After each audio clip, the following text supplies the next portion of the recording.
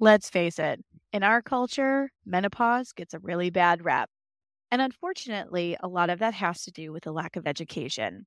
Join me this week as we take a deeper look at what's actually happening during menopause and that the Eastern concept of coming into second spring is actually a really beautiful thing. And menopause and aging is not a thing to be feared. Hi, I'm Adrienne Irizarry. I'm an Eastern medicine practitioner who is passionate about women's health and helping women live their best lives. My goal is to put you in the driver's seat of your menstrual health, offering period solutions for a symptom free life. Statements made in this program are for educational purposes only and not intended as a substitution for medical consultation or advice. We do not claim to diagnose, treat, or cure any diseases. This podcast is inclusive and welcomes all gender identities. The focus of the program is on biological function, and we will use the term women throughout, but it is referencing physiological and social challenges for biology, not identity. Come as you are, I am happy you're here and welcome all performances of identity. I hope you find something helpful in this show. Welcome back to another episode of the Reproductive Rebel podcast. I am your hostess, Adrienne Irizarry. And today we're going to be talking about menopause. Some of you listening, you're not quite to this stage yet, but hold this information and flag this episode for when you get closer to that transition. But I thought that it would be really important to talk about menopause because I have heard a common complaint from a lot of the women that I work with that are either on the early stages of this transition or they're in the process of transitioning, that they really have had a very hard time finding information about what is going on in their body and what it is that they can do about it. So here we are. We're talking about menopause. So I hope that this is a helpful resource for you. Menopause is a natural and transformative process in a woman's life that involves change on many levels, but is also often accompanied by discomfort. So, if you didn't join us for the last episode, I would highly recommend reaching out and checking that out, and flagging it to listen to because we talked about the perimenopausal transition and some of the things that you can expect during that time frame. And sometimes I find that as people are talking about this, there's a little bit less clarity around what is perimenopause, where does the menopause transition begin, and so on and so forth. So these two episodes go together really well oh. because it is a process that you're going through over a stretch of time. But the technical definition of menopause is that you have been 12 months with no period. Okay, 12 months with no period. Now, as you're going through the transition, you will see, you know, your cycles start to elongate, and then you'll go for a few months with no period, and then you'll have one. And then you'll go a little bit longer, maybe four to six months, and then you'll have one. They tend to get progressively lighter as well if all things are being held constant anyway. But you have officially crossed the menopausal threshold when you have been 12 months with no period. So, during this transition, about 80% of women experience hot flashes during some stage of this transition, which are triggered by low estrogen levels. So when you look at the allopathic model and you go into your doctor and you say, Hey, I am really struggling with heat. This isn't working for me. I feel yucky.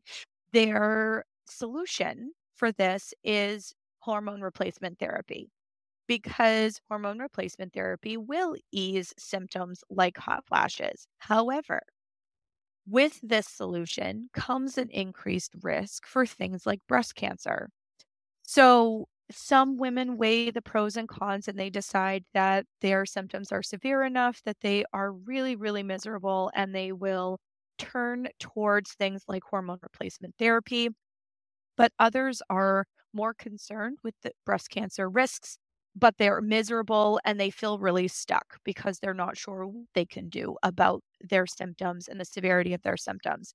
So, this is one of the reasons why I love working in East Asian medicine because this way of moving through the world and practicing support of the body has been supporting transitioning bodies for thousands of years without side effects. So, some of this is going to sound like Greek, and that's totally fine. But I thought that it would be helpful to kind of explain where some of these symptoms come from. And I am going to be speaking in East Asian, or for the purposes of this conversation, traditional Chinese medicine terms. Okay. So menopausal imbalances fall into a couple of categories kidney and or liver yin deficiency. Okay. So it's a yin deficiency or kidney yang deficiency. So more typical presentations of symptoms during menopause are things that fall in the yin deficiency category because these are where those stereotypical symptoms where you know there's tons of memes about having Gladys lay down on the front steps because her latest hot flash is melting the ice on the front steps okay this is actually a cartoon that I posted in my feed a little while back so if you want to check out my Instagram at Moon Essence Me. You'll find it in there. But we make jokes about these kinds of hot flashes, or as one of my clients called it, power surges.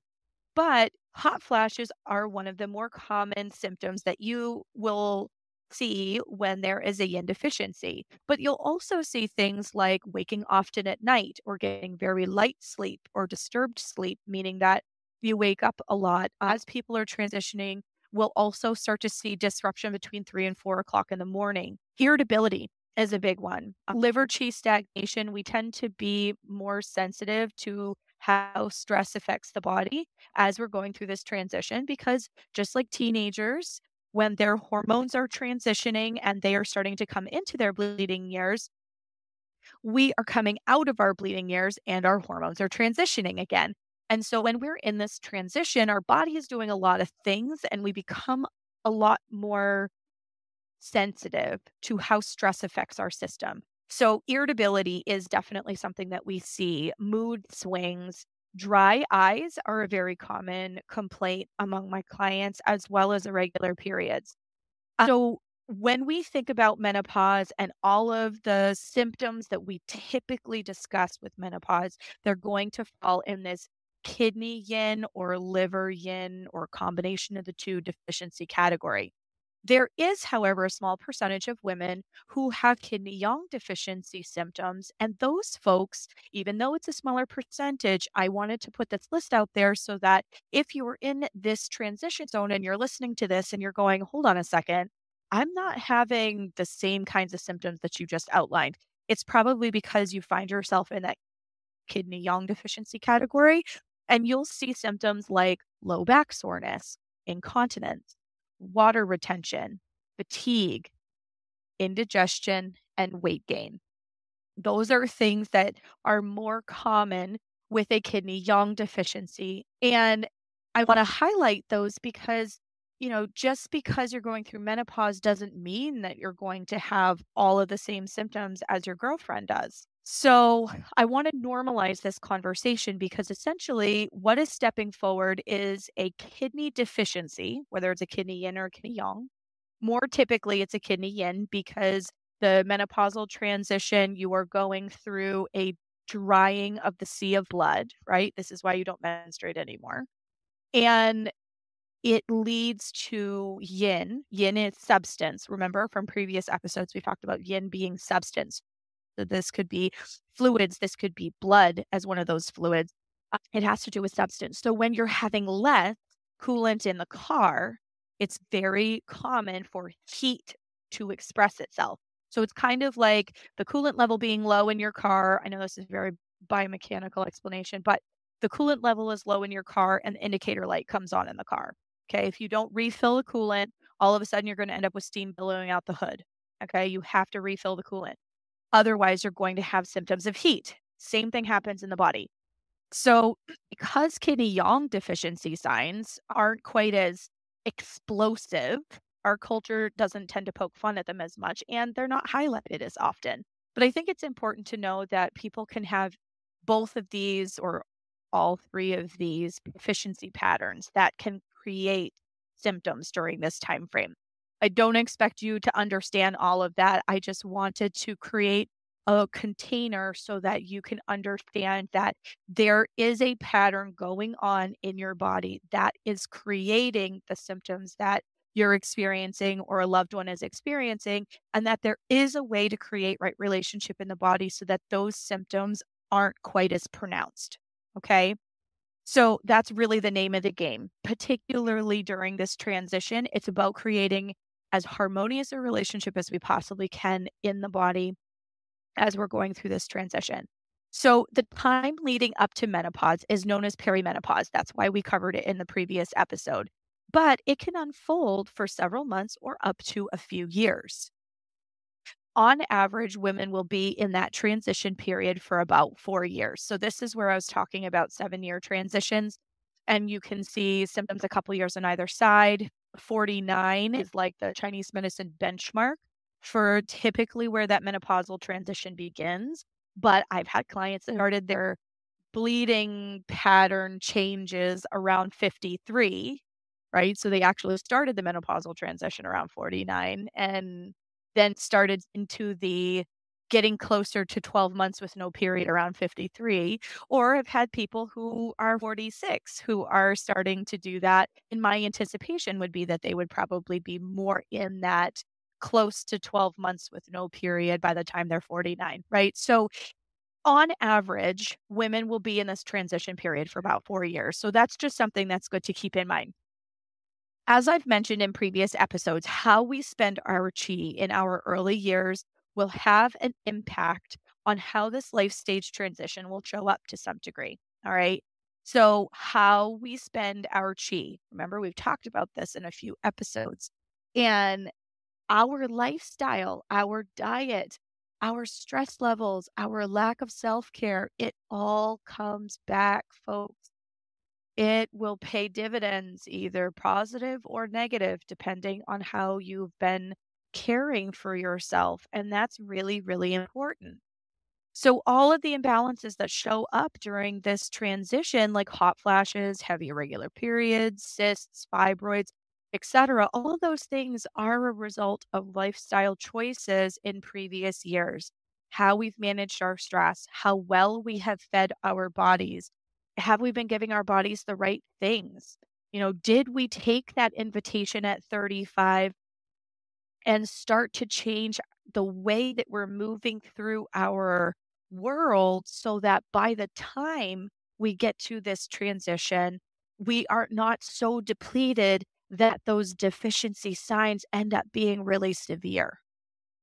So I say all of that as, you know, so hopefully that people that are listening that aren't quite close to that transition yet realize that there is a huge opportunity and an invitation for them to be a proactive participant in whether this transition is going to be a more symptomatic one for you or not. But please, please, please, if you are at that point right now and you're starting to go through that and you're listening and you're thinking, oh God, Adrienne, I'm done for. Like, I have been really stressed. I haven't taken care of myself well enough. This is why I feel like I do. And I guess I'm screwed. No, you're not. You're not stuck. Okay. So don't feel like you're at the point of no return if you're in this transition stage and you know you haven't been as gentle on your body as you needed to be in the earlier stages. What this does, however, is show you that this is a wake up call is what it's offering you is this reduction in symptoms really does require mindful changes and commitment to yourself, to your lifestyle, holding boundaries around caring for yourself first. Put your own mask on before you put a mask on others. And if you can start to do that, right? I know that was totally an airplane analogy, but it's true. If you can start to put your mask on first and then support others, you are going to find you're going to be able to show up for your life better. You're going to feel better. Your severity of symptoms is going to decrease. Okay. So you're not past the point of no return. And remember, menopause is that third golden opportunity in your life to change the way your body shows up. So if you've missed the previous two opportunities because of circumstances and all of these types of things, here's your moment. Here is your moment that will literally change the way that you age and the way that your body shows up for the rest of your life. This is a really important one. So put your mask on first. There are social changes that happen during this time frame and kind of herald this change happening in the body as well. This is where you start turning outward. You want to go on girls' trips. You want to pursue the career that you put on hold because of family or the degree that you didn't finish because you got pregnant, or maybe mm. you want to change your career entirely. You've had enough life experience that you find that different things are making your heart sing and you want to contribute to the world in a different way. There's this natural turning outward that happens during this time frame because you're no longer putting your chi into the creation of life. You are literally starting life anew in a different way. So I invite you with this episode, I invite you to dream a little and to think about what your life should be, what you want it to be, how you want to feel. Because menopause is that third golden opportunity. You are literally starting your life over in a lot of ways. Your health is going to be different. Moving through the world as a non bleeding body is going to be different. Your energy is going to be different.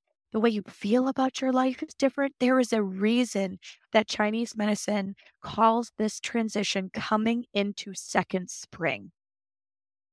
I invite you to consider what is going to burst forth for you. What is going to blossom? What is going to bloom? And what do you want out of this phase of your life? And if you're interested in more information about how to care for your body during this phase and any other phase of your life, please join us in the Body Wisdom membership group. This is a dynamic conversation where some of the guests that have been on this program are going to be making a comeback and they're going to be giving us some in depth conversations. There'll be lifestyle considerations, recipes, food suggestions, and so much more in there. So, in the show notes, there's a link for Body Wisdom. Join us in that group and part of that dynamic conversation and sisterhood because this is where it all begins. We support one another in our growth and transformation. And as we make these changes and our journey begins to change in these different transitional stages all throughout our lives. And I can't wait to see you there. Thank you for joining me for another episode of Reproductive Rebel. Reproductive Rebel is recorded by certified peristeam hydrotherapist, herbalist, sound healer, and Chinese nutritional therapist Adrienne Irizarry of Moon Essence LLC. If you are interested in setting up an appointment with Adrienne for one on one support, ordering from our store, or checking out our course offerings, visit our website at moonessence.life.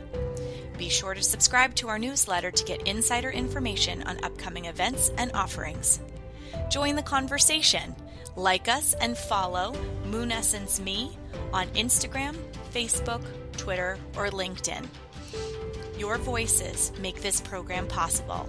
Thank you all for your continued support.